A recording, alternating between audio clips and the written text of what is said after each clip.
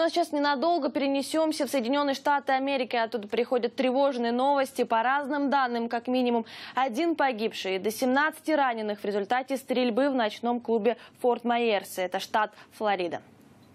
Цифры сильно варьируются пока что в зависимости от средств массовой информации, которые их дают. Некоторые говорят о 14 пострадавших, но, как сообщают очевидцы, среди раненых много подростков. Все потому, что в клубе «Блю» сегодня была программа именно для тинейджеров. В соцсетях пишут э, также, что стрельба была слышна еще в двух районах города. Первые сообщения появились в час ночи по местному времени. Полиция оперативно уже прибыла на место и сейчас оцепили район.